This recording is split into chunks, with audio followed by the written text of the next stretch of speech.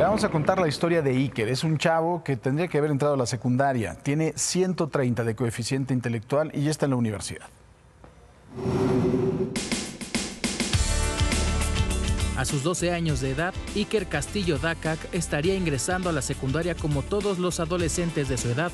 Sin embargo, este ciclo escolar inició sus estudios en la Universidad Autónoma de Quintana Roo, donde se preparará para ser ingeniero. Pues un poco nervioso porque es básicamente un entorno completamente completamente desconocido y nuevo para mí. Voy a estudiar ingeniería en sistemas de energía. Su pasión son las matemáticas, a las que considera muy entretenidas y fáciles de entender, y le dedica hasta tres horas diarias de estudio. Como raro que a alguien le guste, ya que existe un tabú muy fuerte acá en México. Aquí en México y en Chetumal, en todos lados. Sus ratos libres los dedica a los videojuegos como cualquier otro adolescente, pero también cursa talleres de robótica avanzada. Juego videojuegos también y también me gusta armar legos y cosas así.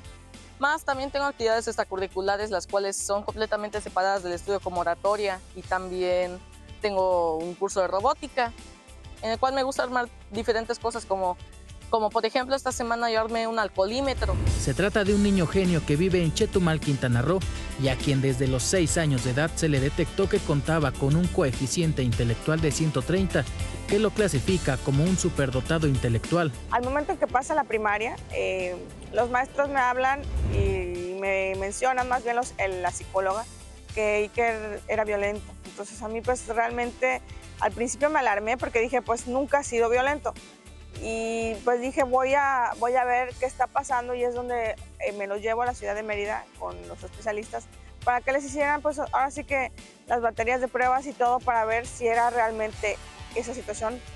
Y ahí es donde pues ellos menciona, me mencionaron y me dieron a conocer la otra realidad, eh, que es la que está pasando hoy, ¿no? Que, que pues tenía una, o, el CI más elevado y que no era violento y que pues eh, padecía bullying. Esa es la situación, así nos dimos cuenta. A su corta edad, Iker cuenta con estudios en robótica por la UNAM, una certificación Cambridge en inglés, doble premio de matemáticas, ganador en Olimpiada Nacional de Matemáticas, entre otros importantes logros académicos.